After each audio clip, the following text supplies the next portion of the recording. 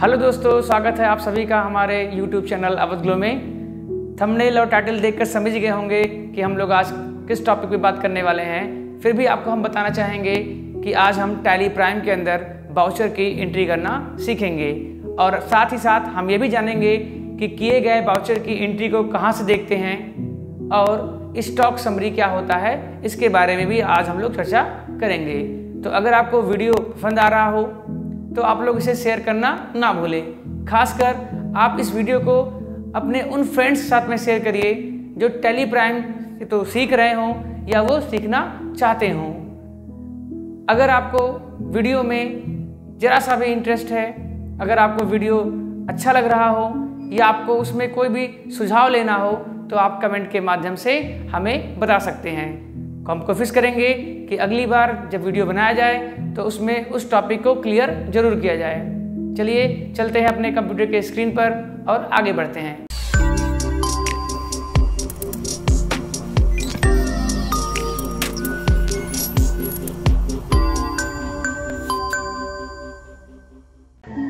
सबसे पहले हम लोग जानने वाले हैं कि बाउचर होता क्या है।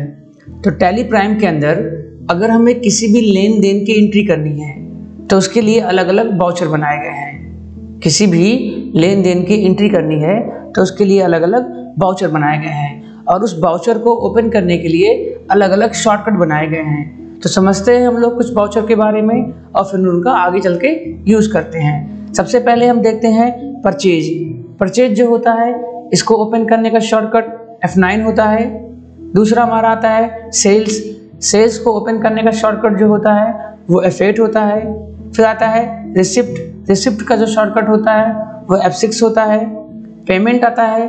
पेमेंट का शॉर्टकट जो होता है एफ़ फाइव होता है। कॉन्ट्रा कॉन्ट्रा का शॉर्टकट जो होता है एफ़ फोर होता है। और जनरल का शॉर्टकट जो होता है एफ़ सेवन होता है। तो ये अलग अलग बाउचर हैं। उनके अलग अलग शॉर्टकट है। तो हम जानते हैं किस बाउचर का यूज़ किस कार्य के लिए किया जाता है।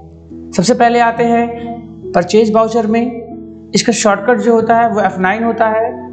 इसका यूज़ क्या है? वो समझते हैं। तो बताया गया है कि इस बाउचर का प्रयोग कैश और क्रेडिट पर आइटम को परचेज करने के लिए किया जाता है। जैसे, अगर हम कोई आइटम परचेज कर रहे हैं, चाहे वो नगद हो या उधार हो तो उसके लिए हम लोग F9 बाउचर यानी कि परचेज बाउचर का प्रयोग करेंगे। तो परचेज बाउचर का प्रयोग जो है, वो है किसी भी आइटम को नगद अथवा उधार परचेज करने के लिए। इसके बाद आता है सेल्स बाउचर सेल्स बाउचर का शॉर्टकट जो होता है, वो एफ़ होता है और इस बाउचर का जो प्रयोग है, वो है कैश या क्रेडिट पर। कैश या क्रेडिट पर आइटम को सेल करने के लिए। यानी कि अगर हमें आइटम सेल करना है तो हम लोग सेल्स बाउचर का प्रयोग करेंगे और इसका शॉर्टकट होता है एफ़ इसके बाद नेक्स्ट आता है रिसिप्ट बाउचर रिसिप्ट बाउचर का शॉर्टकट जो होता है, वो होता है एफ़ सिक्स और इस बाउचर का जो प्रयोग है, वो है कैश आर बैंक के द्वारा पैसा रिसीव करने के लिए। यानी कि अगर हमें पैसा प्राप्त हो रहा है, किसी भी कस्टमर से यदि हमें पैसा प्राप्त हो रहा है तो उसके लिए हम लोग रिसिप्ट बाउचर का प्रयोग करते हैं। और इसको ओपन करने का शॉर्टकट जो है, वो एफ़ सिक्स है। इसके बाद नेक्स्ट आता है हमारा पेमेंट बाउचर पेमेंट बाउचर को ओपन करने का शॉर्टकट F5 है। और इस बाउचर का जो प्रयोग है, वो है कैश या बैंक के द्वारा पैसा देने के लिए, पैसा पेमेंट करने के लिए। यदि हमें सप्लायर को या किसी भी जगह पैसा पेमेंट करना है, पैसा हमें देना है तो उसके लिए हम लोग पेमेंट बाउचर का प्रयोग करेंगे। इसका शॉर्टकट जो है, वो F5 है। नेक्स्ट आता है कॉन्ट्रा बाउचर कॉन्ट्रा बाउचर को ओपन करने का शॉर्टकट होता है F4 और इस बाउचर का जो प्रयोग है वो है कैश बैंक या बैंक से बैंक के बीच एंट्री करना। इसका मतलब है, यदि हम बैंक में पैसा जमा कर रहे हो या हम बैंक से पैसा निकाल रहे हो तो इसके लिए हम लोग कॉन्ट्रा का प्रयोग करेंगे। या एक बैंक खाते से दूसरे बैंक खाते में पैसा ट्रांसफ़र किया जा रहा है। किसी कंपनी के एक खाते से उसी कंपनी के दूसरे खाते में अगर पैसा ट्रांसफ़र हो रहा है तो भी हम लोग कॉन्ट्रा का प्रयोग करते हैं। इसके बाद आता है जनरल बाउचर इसको ओपन करने का शॉर्टकट जो है, वो एफ़ सेवन होता है। इस बाउचर का जो प्रयोग होता है, वो किसी भी प्रकार की एंट्री करने के लिए करते हैं। जैसे यदि हम कोई बाउचर एंट्री कर रहे हैं और वो परचेज नहीं है, वो सेल नहीं है पेमेंट नहीं है रिसिप्ट नहीं है कॉन्ट्रा नहीं है तो उसका प्रयोग जर्नल में किया जाएगा। या अगर कोई कोई बाउचर है कोई बाउचर है, जो आपको समझ में नहीं आ रहा है कि इसकी एंट्री कहाँ करनी है तो उसे हम लोग जनरल बाउचर में करते हैं। ठीक है? तो आपको समझ में आ गया होगा कि यहाँ पे जो बाउचर हैं purchase sale receipt payment contra और जनरल किसका क्या प्रयोग है? तो अब हम चलते हैं अपने प्राइम टैली प्राइम पे चलते हैं और वहाँ पे हम लोग सीखते हैं कि टैली प्राइम के अंदर हम लोग एंट्री कैसे करते हैं। तो ये है आपका टैली प्राइम और यहाँ पे बाउचर की एंट्री को करने के लिए यहाँ आपको दिख रहा होगा बाउचर से एक ऑप्शन है। इस पर हम लोग चाहे माउस से क्लिक करें या एरो में डाउन एरो पे आकर के और बाउचर्स पर एंटर करें तो हमारा बाउचर ओपन हो जाएगा। देखिए बाउचर ओपन होने के बाद बाय डिफ़ॉल्ट यहाँ पे परचेज आ गया है, ठीक है? अगर हमें सेल खोलना है तो उसके लिए हम लोग एफ़ प्रेस करेंगे। अगर हमें पेमेंट खोलना है तो उसके लिए एफ़ प्रेस करेंगे। अगर हमें रिसिप्ट यूज़ करना है तो उसके लिए एफ़ सिक्स प्रेस करेंगे। अगर हमें जर्नल ओपन करना है तो उसके लिए एफ़ सेवन करेंगे। अगर हमें काउंट्रा करना है तो उसके लिए एफ़ फोर करेंगे। तो यहाँ पर शॉर्टकट के द्वारा हम बाउचर को ओपन करते हैं। अदरवाइज़ या तो आप बगल में देख रहे होंगे इस तरफ़, यहाँ पर लिखा हुआ है पेमेंट हम माउस से क्लिक करेंगे तो पेमेंट खुल जाएगा। रिसिप्ट रिसिप्ट खुल जाएगा।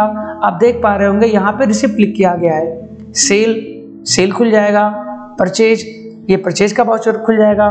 तो हम यहाँ पर क्लिक करके भी बाउचर को ओपन कर सकते हैं। और जैसा कि आप देख पा रहे होंगे, हर बाउचर के पहले उसका शॉर्टकट भी लिखा हुआ है। तो अलग अलग बाउचर जो यहाँ पे दिए गए हैं, उनका प्रयोग अलग अलग प्रकार की एंट्री को करने के लिए किया आता है। तो सबसे पहले हम लोग सीखते हैं परचेज बाउचर में एंट्री करना।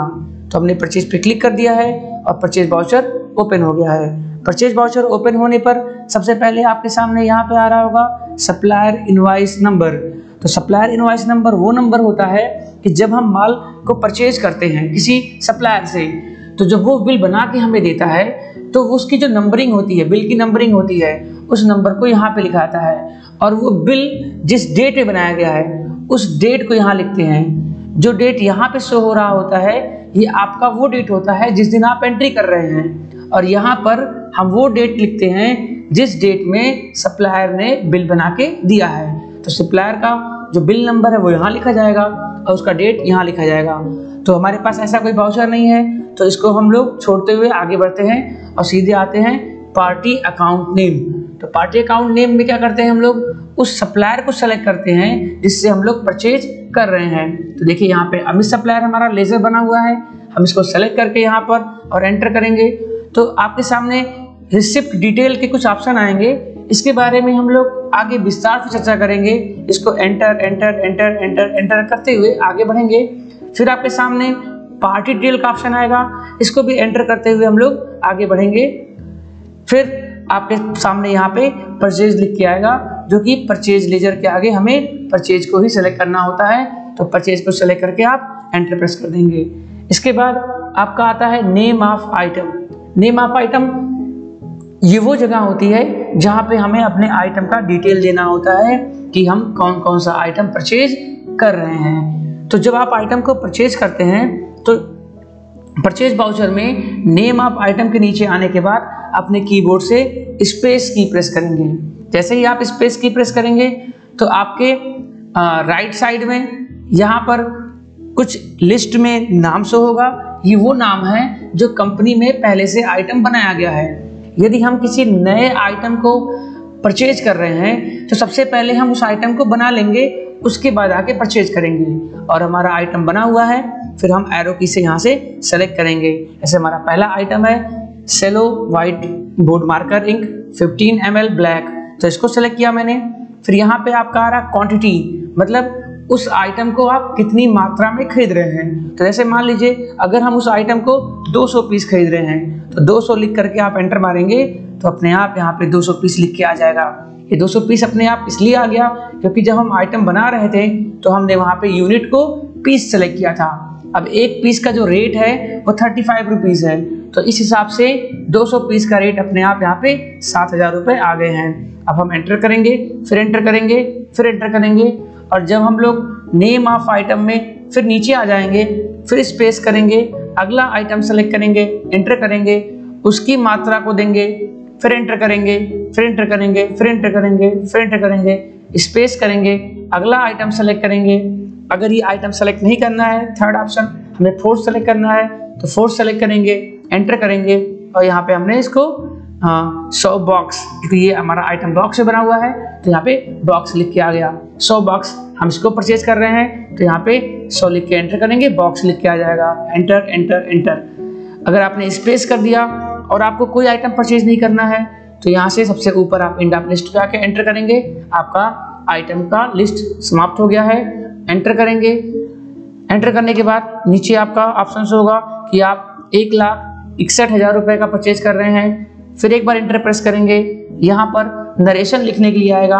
अगर आप चाहें तो इस परचेज के बारे में कोई भी टिप्पणी यहाँ पर या कमेंट जिसे हम लोग बोलते हैं या नरेशन बोलते हैं, यहाँ पे आप लिख सकते हैं। उसके बाद फिर इंटर प्रेस करेंगे तो यहाँ पे एक्सेप्ट का ऑप्शन आएगा। फिर से पुनः एक बार एंटर प्रेस करने पर हमारा बाउचर जो है वो एक्सेप्ट हो जाएगा। और जैसे एक्सेप्ट होगा तो यहाँ पे देखिए नंबर टू आ गया, क्योंकि मेरा परचेज का जो पहला बाउचर था वो हमारा हो गया। तो हमारा बाउचर जो है, वो एक्सेप्ट हो गया है। तो आपको पता कैसे चलेगा? पता चलने का कई तरीका है। नंबर एक तो ये हमें हमें यहाँ पे दिखाई पड़ेगा टू इससे मतलब चल रहा है, पता चल रहा है हमको कि नंबर वन जो हमारा है, वो परचेज हो गया है। इसके बाद एक तरीका ये भी होता है कि हम लोग स्टॉक समरी में आते हैं, यहाँ पे एंटर करते हैं। और देखिए, जो हमने आइटम खरीदा है, वो स्टॉक समरी में आ गया है। इसका मतलब ये है कि हमारा परचेज हो गया है। इसके अलावा हम लोग आते हैं डे बुक में आते हैं, यहाँ पे डे बुक है, इस पर एंटर करते हैं तो यहाँ पे दिखा रहा है, अमित सप्लायर से परचेज हो गया है वाउचर नंबर एक पर एक लाख इकसठ हज़ार का। तो परचेज हो गया है, इसको देखने के लिए हम लोग डे बुक में या हम लोग जा कर के स्टॉक समरी में चेक कर सकते हैं कि अगर हमारा आइटम परचेज हो गया है तो स्टॉक में जो आइटम है वो बढ़ जाएगा, ठीक है? तो आपको परचेज शायद समझ में आ गया होगा। अगर नहीं समझ में आया है तो दोबारा बताते हैं आपको हम। यहाँ पे हमारा बाउचर्स है, इसमें आएँगे और F9 करेंगे परचेज खुल जाएगा, उसके बाद बाउचर की एंट्री कर देंगे। चलिए अब सेल करते हैं। सेल करने के लिए हम लोग यहाँ पे F8 पे क्लिक करेंगे। हमारा सेल का बाउचर ओपन हो गया। यहाँ से हम पार्टी सेलेक्ट करेंगे कि हम किस पार्टी को सेल कर रहे हैं। तो यदि हमारा सेल जो है वो नगद हो रहा है किसी कस्टमर को सेल नहीं कर रहे हैं, नगद पे सेल हो रहा है तो यहाँ पे हम कैश सेलेक्ट करेंगे। और फिर से यहाँ पे डिस्पैच डिटेल आ गया। डिस्पैच डिटेल क्या होता है? इसके बारे में हम डिटेल पर चर्चा करेंगे। अभी इसको एंटर करते हुए आगे बढ़ते हैं। फिर इसके बाद पार्टी डिटेल आएगा। इसको भी एंटर करते हुए आगे बढ़ेंगे। सेल लेजर में सेल करना होगा। फिर जब हम यहाँ पे स्पेस करेंगे तो आपके आइटम का लिस्ट हो जाएगा। देखिए Cello white board marker ink 15 M यहाँ पे 200 पीस दिखा रहा। है मतलब ये हमारा जो आइटम है, हमारे पास 200 पीस है। दूसरा item Cello white board marker pen black जो है, ये 200 पीस है। यहाँ पे Alcos better ball pen blue ये हमारे पास नहीं है। तो इसलिए यहाँ पर कोई भी मात्रा शो नहीं हो रहा है। Alcos better ball pen red हमारे पास सौ बॉक्स है। तो इस तरह से यहाँ पर हमें वो आइटम दिखाई दे रहा है, जो जो हमने परचेज किया हुआ है, या हमारी कंपनी में बना हुआ है। जो बना हुआ है, वो भी आएगा, और जो परचेज हुआ है, वो भी यहाँ पे दिखाई देगा। जो परचेज हुआ है, वो कितने कितने पीस हमारे पास बचे हुए हैं, वो यहाँ पे शो होंगे। अब हमें जो भी आइटम सेल करना होगा, जैसे अगर हमें Cello white board marker ink जो है, वो सेल करना है तो उसको सेलेक्ट करेंगे और देख लेंगे, एक बार कंफर्म कर लेंगे कि हमारे पास 200 पीस है, जिसमें से हम 200 या 200 से कम को सेल कर सकते हैं। तो मान लीजिए अगर हम यहाँ पे 50 पीस सेल कर रहे हैं तो 50 पीस लेके एंटर करेंगे। फिर से एंटर एंटर एंटर स्पेस उसके बाद हम सेलेक्ट करते हैं यहाँ पर Cello white board marker pen जो ब्लैक है, इसको सेलेक्ट करते हैं। इसको यहाँ पर हम लोग देख पा रहे हैं 200 पीस है। तो इसमें से भी हमने 50 पीस सेल कर दिया फिर आते हैं स्पेस करते हैं। अगला आइटम हमारा एल्कॉस बेटर बाल पेन है। ये हमारा सौ बॉक्स है। इसमें से हम दस बॉक्स सेल कर रहे हैं इंटर तो देखिए, इसका डिटेल यहाँ पे आ गया, दस बॉक्स इसका जो सेल रेट है, वो है एक हज़ार सात सौ पचास रुपये इस सत्रह हज़ार पाँच सौ रुपये हो गए। फिर हम एंटर एंटर एंटर एंटर करते हुए बाउचर को एक्सेप्ट कर देंगे। तो हमारा सेल हो गया। सेल होने के बाद देखिए, यहाँ पे नंबर टू लिख के आ रहा है, जिसका मतलब है कि हमारा सेल पहला वाला बाउचर हो गया है। जब सेल हो जाता है, इसके बाद हम अगर देखना होगा कि सेल जो हुआ है, वो हो गया है या नहीं हुआ है तो उसके लिए फिर से हम लोग डे बुक में आएँगे एंटर करेंगे। तो देखिए, यहाँ पे दिखा रहा है, आपका अमित सप्लायर से परचेज हुआ है कैश आपका सेल हुआ है। तो जो जो इंट्रियाँ कंप्यूटर में हुई होती हैं, या हमारी कंपनी में हुई होती हैं, वो वो एंट्री हमें यहाँ पर शो होती है। दूसरी बात अगर हम स्टॉक समरी में आते हैं और चेक करते हैं तो यहाँ से हमें पता नहीं चलेगा कि सेल हुआ है या परचेज हुआ है। यहाँ पे हमें केवल दिखाई देगा आइटम बचा कितना हुआ है। तो जैसा कि आप देख पा रहे होंगे सेलो का हमारे पास 300 पीस है और एलकास का हमारे पास 90 बॉक्स है।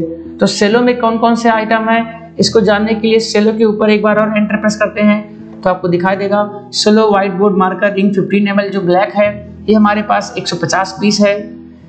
Cello white board marker pen जो ब्लैक है, ये हमारे पास 150 पीस है। फिर से बैक आने के लिए हम लोग कीबोर्ड से ई एस सी की प्रेस करेंगे बैक आ जाएँगे। एलकॉस पे आकर एंटर करेंगे। तो एलकास का क्या है?